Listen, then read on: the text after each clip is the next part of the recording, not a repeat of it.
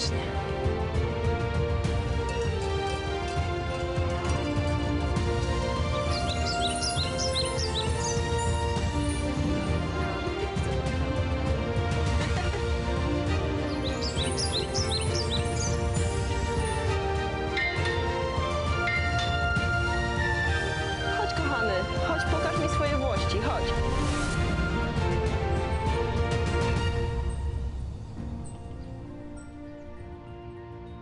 Podróż z klimatem i z pasją rozpoczynamy w Koszęcinie. Działa tu wyjątkowy ośrodek kultury i edukacji regionalnej stworzony przez Jana Mercika, człowieka instytucję, znawcę i miłośnika Śląska, działacza społecznego, przewodnika, nauczyciela i autora setek publikacji. Jego szczególną pasją było od zawsze poznawanie skomplikowanych dziejów Śląska i Ślązaków oraz dzielenie się zdobytą wiedzą z innymi. I trzeba to przyznać, robi to w cudowny sposób. Panie Janie, jest pan cudownym, wyjątkowym nośnikiem kultury i historii Śląska. Skąd u pana ta pasja, ta miłość do Śląska? Dziękuję za ten miły komplement. Miłość y, rodzi się w domu rodzinnym, tak bym to powiedział, i w otoczeniu, w jakim się człowiek y, y, znalazł, znalazł albo znajduje. Ja mm, muszę się przyznać na samym początku, przyznać to jest takie cudzysłów trochę słowo, y, że jestem Ślązakiem od pokoleń, od XVI wieku gdzieś, z obu stron i ojciec i matka Ślązakami byli i mogę powiedzieć, tam się uczyłem szacunku do historii, szacunku do ludzi i szacunku do tego, co człowiek wysiłkiem woli, rąk, myśli i dusz, jak poeta wznośnie powiedział, stworzył. Czyli do tego wszystkiego myślę o etnografii teraz, prawda? Takiego muzeum nie ma na całym Śląsku. Proszę powiedzieć, jak długo zbierał pan te eksponaty i co tutaj się znajduje? To jest drugie zdanie od pani, które mnie y, t- troszkę podnosi na duchu, y, że takiego nie ma. Wiem, że w odniesieniu do prawideł muzealnych jest tutaj troszkę wszystko inaczej poustawiane. Ale są tutaj takie rzeczy, jeśli to tak w- to słowo ujmę, y, y, y, których gdzie indziej nie ma. Muzealnicy też chodzą odwiedzać tutaj. Kocham to po prostu. Kocham swoją przeszłość i, i, i kocham to, co ludzie stworzyli. W tym moim muzeum chcę pokazać przeszłość, piękną przeszłość zrozumianą dla Ślązaków. Miłość to uczucie. W Ośrodku Kultury stworzonym przez Jana Mercika można przyjrzeć się Śląskiej Izbie Regionalnej, odtwarzającej wnętrze chaty z końca XIX wieku. Ściany są y, drewniane, z belek drewnianych i na ścianach trochę z kosem wiszą obrazy, do których się kiedyś modlono. Panie Janie, kiedy pan śpi, przecież pan ciągle coś robi. Jak pan nie pisze, to pan coś zbiera, coś pan opisuje. Ja mam taką niepisaną umowę z Panem Bogiem.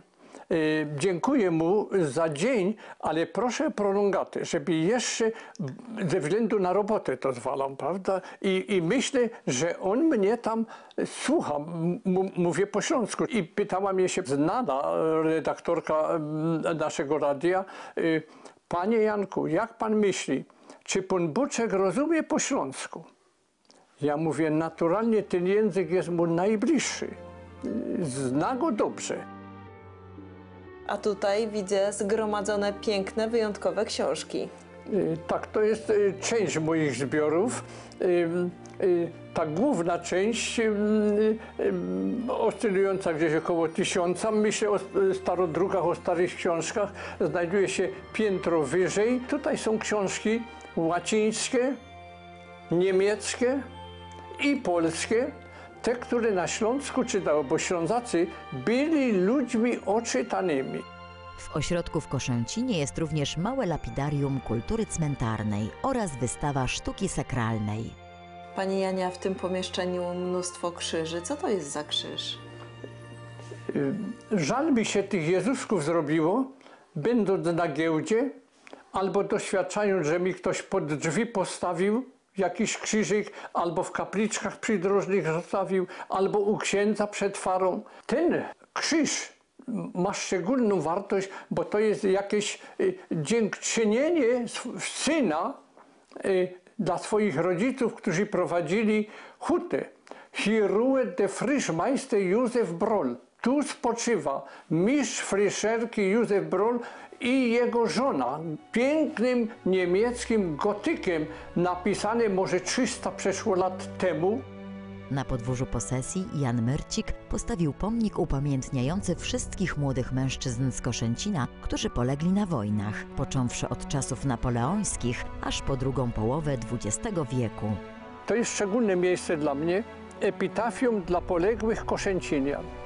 Nie patrzę tutaj oczyma y, mm, patriotycznymi y, na to miejsce, bo patriotyzm ma każde państwo swój. Y, w kierunku południowym w 1939 roku, 15 kilometrów stąd byli już Niemcy. I tak w koło można by powiedzieć, byśmy w prawo zakręcili krąg, Ciasna, to wszystkie te miejscowości należały do Niemiec i tak 20 kilometrów. Pod jednym z tych 134 kasztanowców, które książę wysadził na niezamieszkałym bez domów w swoich dobrach prowadzącą na dworzec, poległ w 1939 roku pierwszy żołnierz polski. Widziałem go na własne oczy z bardzo blisko. I historia powtórzyła się za niecałe 6 lat później. Poległ tutaj w tym miejscu pod przysłowiowym płotem niemiecki major rezerwy, który był doktorem farmacji. Ubrano go w mundur, mając, miał już e, około 60 lat i tutaj się przyczołgał, nim jego ciało przeszyto pepechą, y, chyba pięć albo sześć strzałów dostał. Chciał uratować jeszcze swoje życie. O tych wszystkich ludziach, oni z drugiej strony są w formie krzyżeków przedstawieni, y, jak idą do nieba, tak bym powiedział. Y, I pomyślałem sobie, muszę zebrać tych wszystkich chłopców, bo tak ich nazywam. I tak mówią, i dziennikarze także tak mówią, pana chłopcy. Jest ich 173 nazwiska na tej tablicy, niezależnie od tego, jaki mundur nosili. Z Koszęcina przenosimy się do gminy Świerklaniec, gdzie członkinie Stowarzyszenia Przyjaciół Kultury i Tradycji Śląskiej przygotowują wyjątkowy produkt zwany gymizą. Gemiza to są, wiadomo, z niemieckiego warzywa. E, Oma, wiadomo, babcia. Także przekazywana, e, przekazywana receptura od pokoleń, z pokolenia na pokolenie. Są tam warzywa e, na jesień zebrane z ogródka. Wszystkie warzywa, łącznie z zielonymi pomidorami.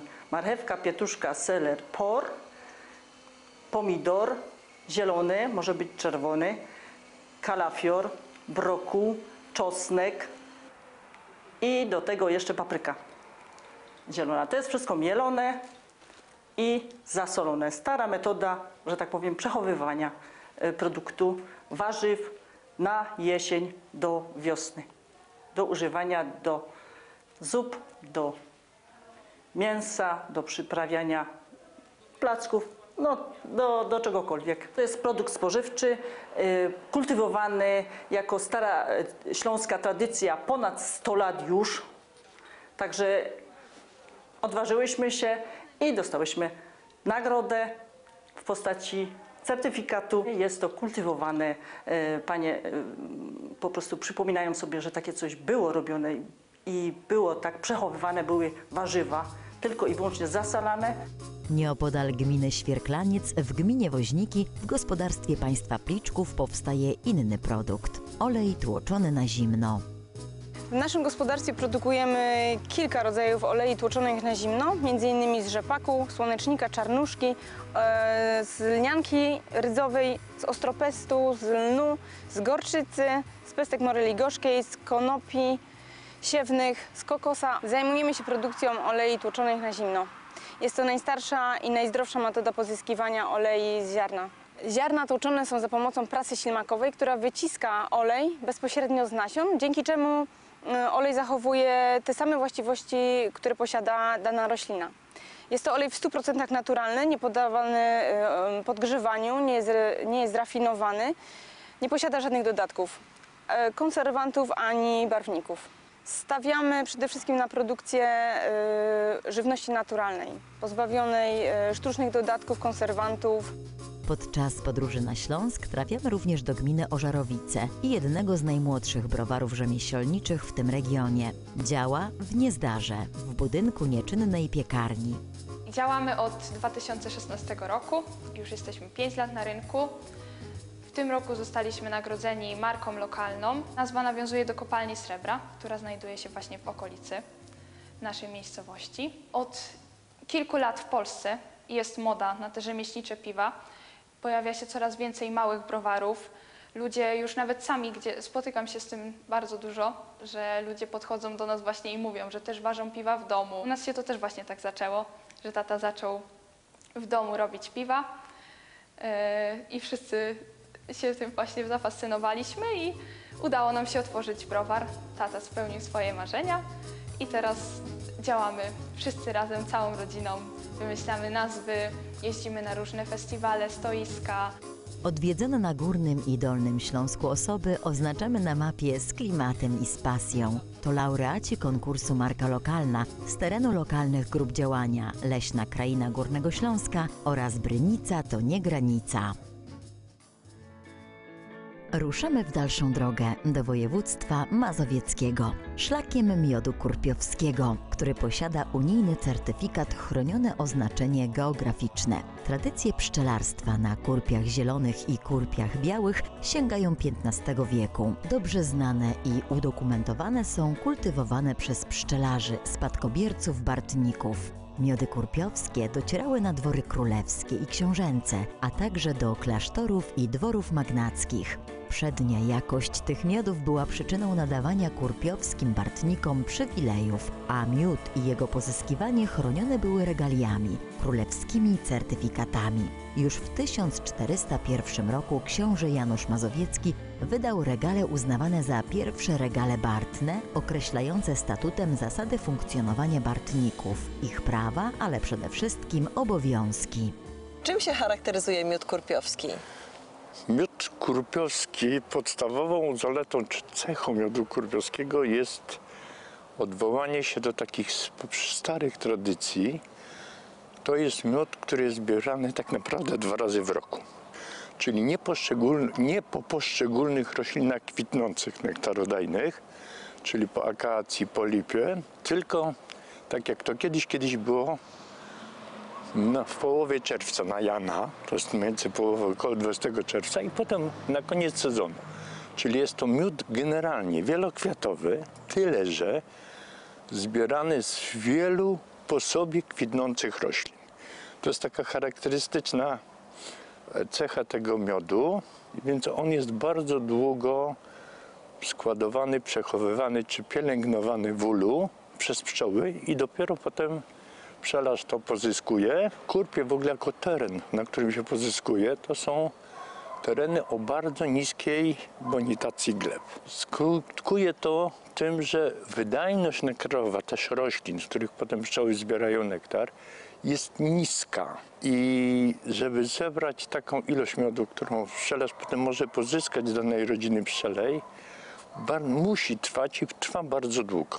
Jego proces pozyskiwania, potem konfekcjonowania podlega bardzo takim rygorystycznym ograniczeniom. Nie wolno pewnych rzeczy robić, a inaczej, co ważne, łatwiej jest powiedzieć, że ten miód po pozyskaniu, po odwirowania z ramek powinien być w możliwie krótkim czasie rozlany do słoików, czyli konfekcjonowany i pierwsza krystalizacja tego miodu następuje już w opakowaniach, które potem są, w których ten miód się sprzedaje.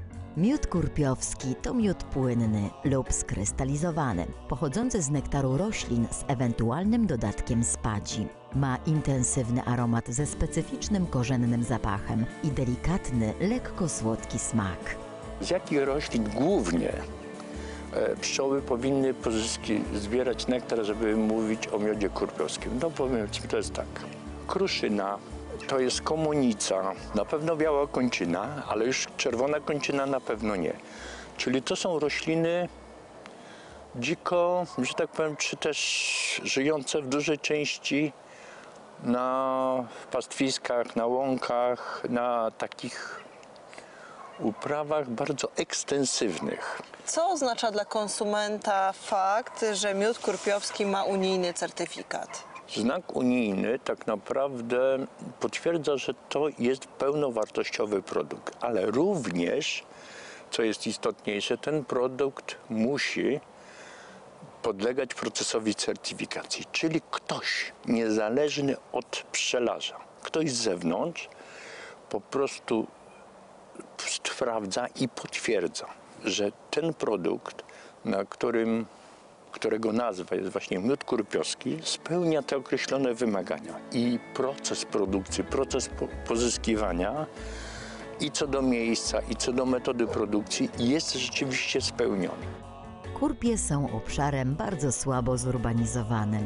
Nie ma tu wielkich ani średnich zakładów przemysłowych oraz wielkoobszarowych i towarowych gospodarstw rolnych. Co nietypowe, na obszarze Kurpi nie ma ani jednego miasta powyżej 100 tysięcy mieszkańców. Wyjątkowe walory przyrodnicze tego terenu przyczyniły się między innymi do zaliczenia go do zielonych płuc Europy. Wyjątkowość tego regionu potwierdzają również występujące tu obszary objęte siecią Natura 2000, Dolina Dolnego Bugu, Puszcza Biała oraz Dolina Omulwi i Płodownicy. W tym regionie znajduje się również Nadburzański Park Krajobrazowy, a także wiele rezerwatów.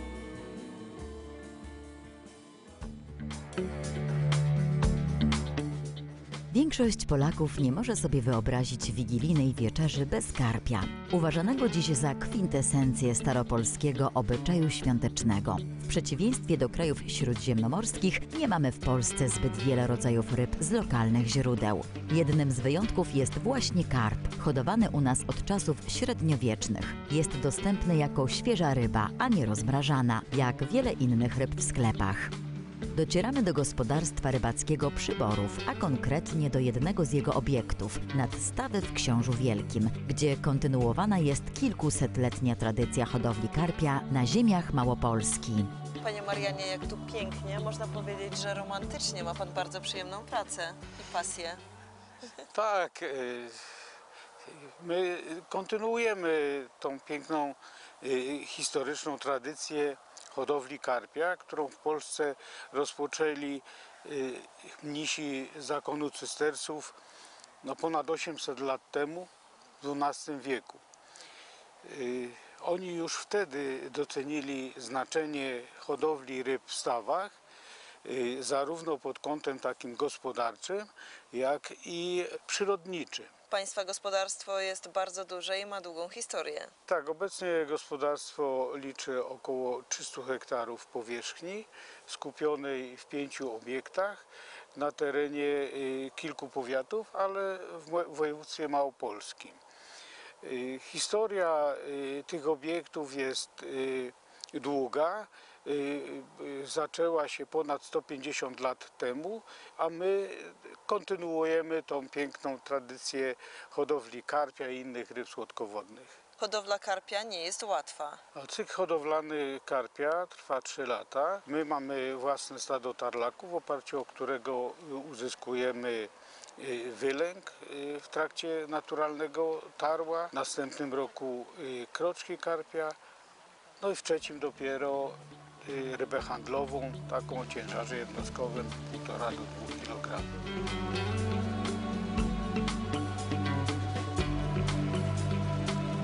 Taki odłów karpia wygląda spektakularnie. E, tak, no przez kilka dni opuszczamy wodę ze stawu, żeby ta rybka nam ładnie e, zeszła do tak zwanego łowiska. E, Staw w ogóle jest tak wyprofilowany, żeby po prostu od tego najmniejszego punktu, gdzie, gdzie e, ta głębokość jest jakby najniższa i wszystko schodzi do, w kierunku e, mnicha, gdzie jest no, najgłębiej i ta rybka po prostu nam w naturalny sposób schodzi. I tam po prostu możemy ją odłowić. Niewiele osób zdaje sobie z tego sprawę, ale karp to ryba slow food. Rośnie przez 3 lata w stawach w warunkach zbliżonych do naturalnych. Je małe wodne żyjątka. Jest jedynie dokarmiany zbożem. Kupując karpia, dajemy utrzymanie polskim małym gospodarstwom rybackim. Dbamy o przyrodę, bo na stawach karpiowych żyją setki gatunków roślin i zwierząt, w tym chronione ptaki wodne, a przede wszystkim dbamy o siebie, bo karp to ryba zdrowa z natury. Ma lekkostrawne białko, jest niezbyt tłusta, zawiera wiele cennych witamin i w okresie jesiennym wspomaga naszą odporność. O hodowli karpia mówi się, że to hodowla Soul Life. Tak, zdecydowanie slow life, a ze slow life wychodzi slow food. Doskonale. Tutaj no, możemy mówić o karpiu jako o produkcie ekologicznym. E, bardzo istotną wiadomością dla sportowców będzie to, że 100 gramów karpia to tylko 100 e, kilokalorii. E, abstrahując od walorów kulinarnych i smakowych, należy przede wszystkim powiedzieć o walorach prozdrowotnych. Prozdrowotnych to znaczy wynikających z e, tego, co mięso karpia zawiera. Jest to przede wszystkim lekkostrawne białko, e, tłuszcze, e, które są nam niezwykle potrzebne. To wszystko decyduje o tym, że jest to produkt nie tylko smaczny, ale przede wszystkim zdrowy.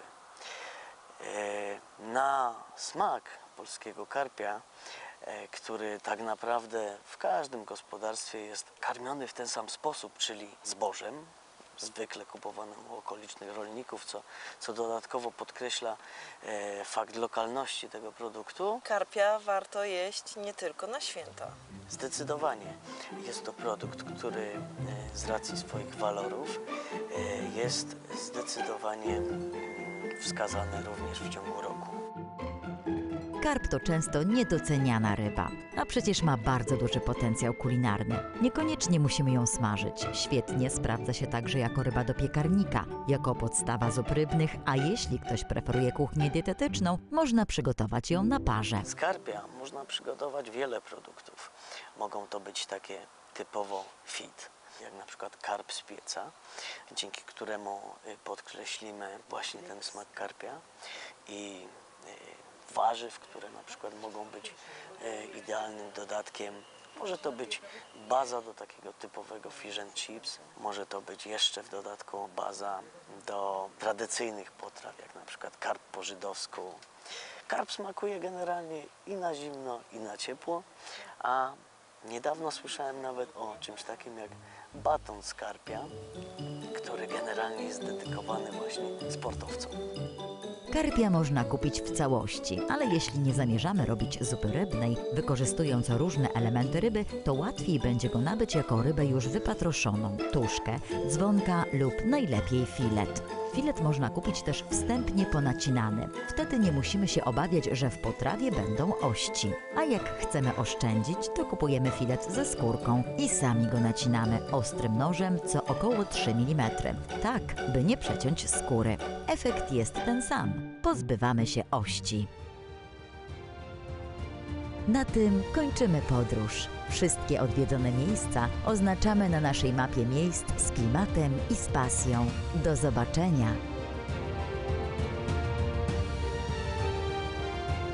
Dobrze, ładnie. Susulanka jest naturalna, sensowna. Mleczno, mleczno. Super. Mruczymy, tak? Mruczymy, mordo moja. Zabawnie było.